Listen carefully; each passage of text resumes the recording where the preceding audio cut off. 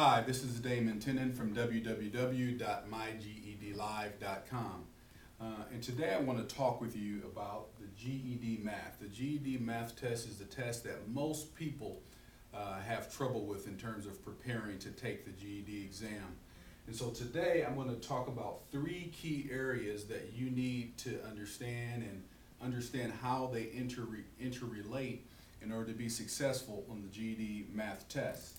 The first area I want to talk about is the skill area. For example, with fractions, you just simply need to be able to do the skill of one third plus three sevenths, as an example. You simply need to be able to do that type of skill. That's the skill. But on the GED test, this is not what you're going to see. They're not going to test you on your ability to do that. So the second piece of the puzzle here that we're talking about is the word problems. The word problems are, for example, uh, Peter added one third cup of sugar and three sevenths cup of flour to his recipe. What was the total amount of dry good did he add to his recipe? So the word problem, you need to be able to interpret that word problem back down to the skill.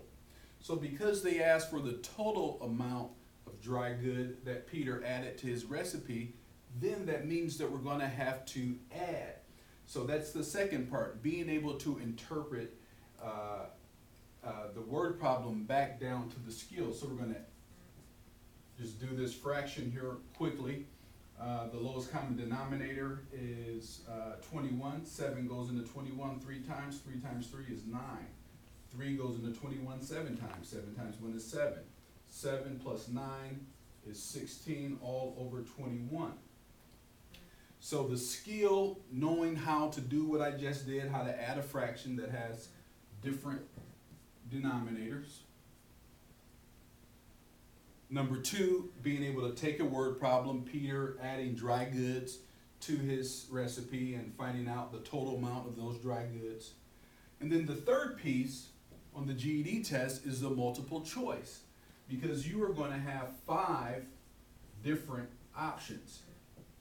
So one of your options is going to be the correct answer, 1621s, and let's just say that's number four. Then you're going to have a few options that are totally out of the picture. One is going to be, let's see, one cup. Another is going to be one and a half cup. But then you're going to have another uh, possibility in one of those questions that will be a misinterpretation of the word problem to the skill. So, for example, if you misinterpreted that to be an addition fraction and you misinterpret it to be a subtraction fraction, uh, 3 goes into 21 seven times, 7 times 1 is 7, 7 goes into 21 three times, 3 times 3 is 9, 9 minus 2 is two 21s. So one of those answers is going to be a misinterpretation of the word problem. And this is where many people miss. Because if you misinterpret the word problem, you may have done the steps correctly. We did here together just now the steps correctly. So this problem is correct, but it's incorrect because it does not answer the question of the total amount of dry goods. This answers the question of how much more uh, flour than sugar did Peter use.